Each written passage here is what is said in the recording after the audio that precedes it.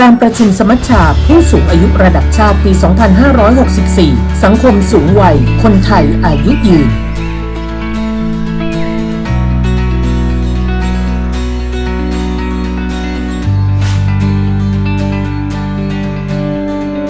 ประเทศไทยเข้าสู่สังคมผู้สูงอายุมาตั้งแต่พุทธศักราช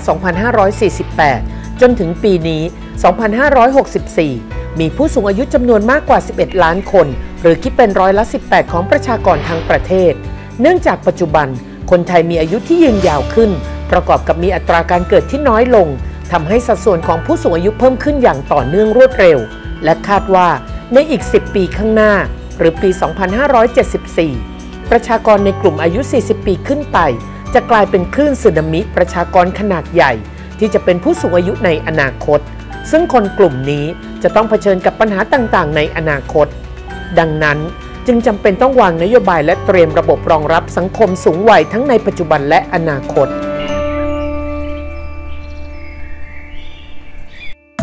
สมัชชาผู้สูงอายุระดับชาติ เป็นอีกหนึ่งกลไกสำคัญของการได้มาซึ่งข้อเสนอเชิงนโยบาย และเป็นกระบวนการที่เชื่อมประสานระหว่างภาคส่วนต่างๆ ของสังคม เพื่อแลกเปลี่ยนเรียนรู้อย่างสมานฉันท์และเป็นกระบวนการทำงาน โดยพึ่งพาพลังสามส่วนที่เชื่อมโยงกัน ได้แก่ พลังทางปัญญา พลังทางสังคม และพลังแห่งอำนาจรัฐ หรืออำนาจทางการเมือง โดยกรมกิจการผู้สูงอายุ มีการจัดสมัชชาผู้สูงอายุระดับชาติมาตั้งแต่ปี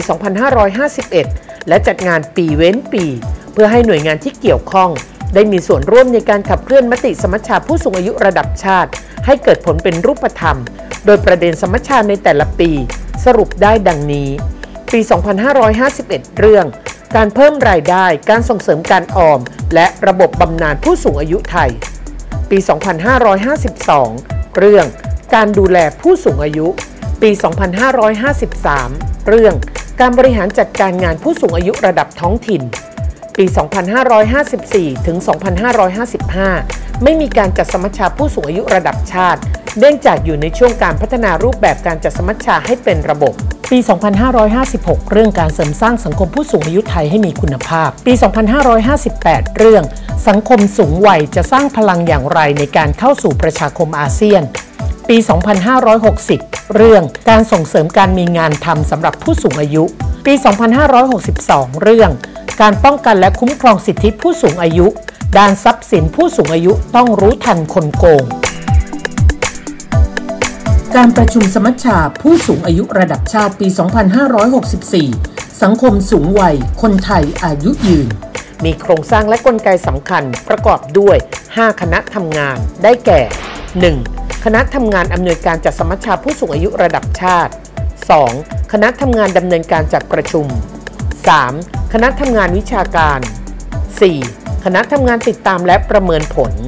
และ 5. คณะทำงานจัดประกวดหนังสั้น เพื่อทำหน้าที่กำหนดประเด็นสมัชชาผู้สูงอายุระดับชาติ จัดทำระเบียบวาระการประชุม ปรับปรุงร่างข้อเสนอและมติจากกลุ่มเครือข่ายสมัชชาผู้สูงอายุ และองค์กรภาคีต่างๆ จัดทำรายงานการประชุม ติดตามการดำเนินงานตามมติสมัชชาผู้สูงอายุ และประเมินผลการจัดสมัชชาผู้สูงอายุระดับชาติ ตลอดจนการจัดประกวดหนังสั้น เพื่อสร้างความตระหนักให้คนในสังคมมองเห็นถึงความสำคัญ และเตรียมความพร้อมเพื่อเข้าสู่วัยผู้สูงอายุที่มั่นคงในอนาคต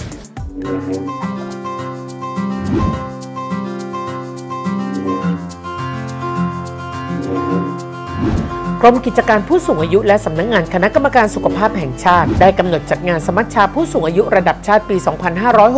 2564 ภายใต้แนวคิด สังคมสูงวัยคนไทยอายุยืน โดยการขับเคลื่อนจะมุ่งใน 2 ประเด็นสำคัญคือ 1. ประเด็นการเสริมทักษะอาชีพใหม่หรืออาชีพทางเลือก และรายได้ของผู้สูงอายุในประเทศไทย อันเนื่องมาจากการพลิกโฉมทางเทคโนโลยี และการชะลอตัวทางเศรษฐกิจ อันเนื่องมาจากสถานการณ์โควิด -19 ที่ส่งผลให้ผู้สูงอายุจำนวนหนึ่ง มีความยากลำบากทางเศรษฐกิจ โดยประเด็นนี้จะเป็นการออกแบบระบบในการพัฒนาทักษะอาชีพใหม่ หรืออาชีพทางเลือก และรายได้ของผู้สูงอายุ โดยมีเงื่อนไขทางร่างกาย ทักษะอาชีพ และเงื่อนไขทางเศรษฐกิจที่แตกต่างกัน และต้องมีความเหมาะสมกับระบบเศรษฐกิจในแต่ละท้องถิ่น รวมถึงต้องพร้อมรับสถานการณ์ความท้าทายในการรักษาและสร้างงานที่มีคุณค่าสำหรับผู้สูงอายุ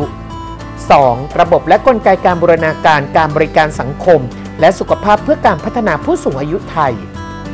ถึงแม้ว่าการบริการสังคมและสุขภาพ ได้มีการดำเนินงานมาเป็นเวลานาน และมีวิธีการที่แตกต่างกัน